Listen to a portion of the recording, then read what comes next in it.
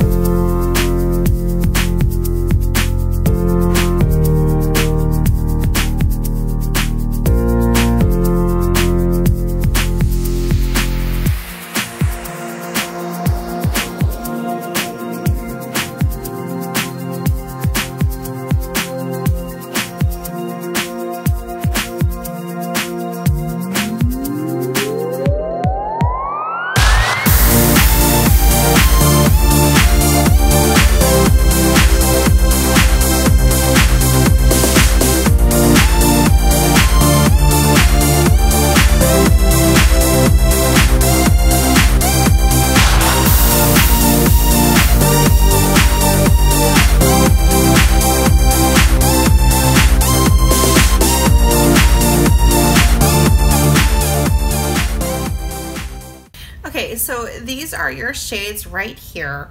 I do want to start off by saying, um, when I first saw this online, my vision was more of like deep burgundies, reds, I don't know, just like rich cherry colors. Um, I do think the colors are a little misleading. It's definitely more mauve peach um, when you look at the swatches here, these are definitely, I mean, even my eye look, it's not what I envisioned. I It looks a lot more pink on my eyes. Um, I still like this look. I think it's very, very pretty, but I do want to keep that in mind. All right, now going into the shades. Um, there is a lot of kick up in this palette. Um, that's not a deal breaker for me. I can be a deal breaker for you and that is fine. But if it's not, then just be aware that it is going to be a lot of fallout. So you definitely want to do your eyes first. Um, I think everything felt really, really nice to the touch. The only ones that were a little bit dry was um, Devilish and Privacy. So that would be this one here and then the one on the end. Those were a little bit dry, um, but they still worked really, really well. Everything else felt super, super creamy.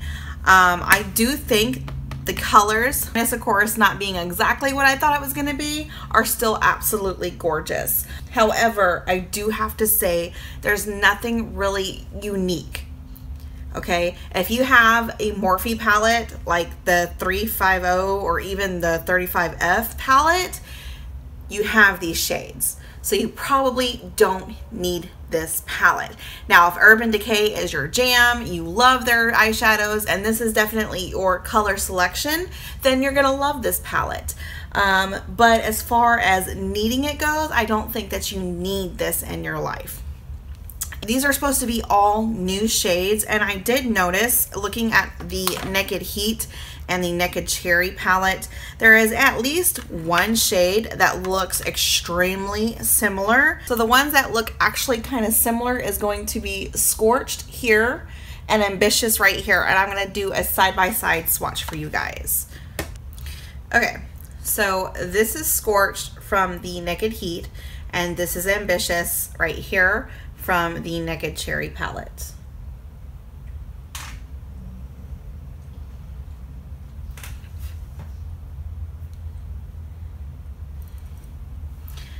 I don't know about you, but that looks like the same exact shade to me. Does it not? They look like the same exact shade. Um, I don't know if it's picking up that way on on camera, but definitely in person. definitely in person it is. So, um, let's go ahead and test a couple more. Let's see. All right, so here's two more. This one is Caution from the Cherry palette, and this one is Chaser from the Naked Heat. Okay, I don't know if you can tell where they're at they do look a tad different, but they're definitely similar. Oh, I don't know if you can tell or not. Because it's so light. Let me try see if I can do it on this side of my arm where it's lighter.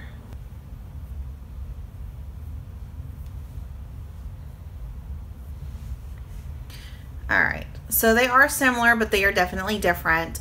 Um, this one is a little bit more peachy tone than the other one. All right, so that is it as far as comparisons go. Um, the only one that looked the exact same was, of course, Ambitious and the other one from the Naked Heat palette. Everything else is definitely completely different. I do have a pretty decent eyeshadow collection, so I do have already almost all of these shades in my collection. However, like I said, I did expect a little bit more of like deep burgundies in here, and it ended up being a little bit more peaks, pinks and peaches. All right, so let's wrap it up with some final thoughts. So the packaging, I love the packaging so much. I do like the design on here. I love that this palette is very, very sturdy. The dual-ended brushes that they come with, I actually quite enjoy these brushes. I enjoy them more so than the ones from Anastasia Beverly Hills. And I do like the brush in this palette. It is very pretty. It's kind of got this clear part right here. Um, and it says Naked Cherry. Um, the brushes are really, really soft. The other one I had gotten from the Naked Heat, actually I have it right here. Yeah. Um, so this is definitely different than the one I had gotten previously. This definitely has a flat shader part on the brush, um, a little bit more of a pointed blending brush. Um, this is more of a fluffy brush with a pencil top on the other end. So I like the fact that they did change it up uh, in this collection. The shadows themselves are absolutely beautiful. They performed really well on the eyes. I had no patchiness whatsoever. Um, they were so easy to blend so easy to blend so I do appreciate that and like I said this the shade selection it's not what I thought it was, which is kind of a disappointment. But if you put that aside, I do think the shade selection is very pretty in this palette. This palette does retail for $49. I did get it off of the Urban Decay website. They do have more to this collection. They have a um, highlight and blush palette for $34, a cherry scented spray, Um, they do have lipsticks and I believe eyeliners. However, I did not feel the need to get any of the other items. Um, I was really only focused on the eyeshadow palette itself. So this is definitely going to be a little bit more of a personal preference. Um, like I said, if you love Urban Decay, if you love their shadows, um, if you love the shade selection in this, and you want to get it, I definitely say go for it. I do like the palette. I do enjoy how the shadows work.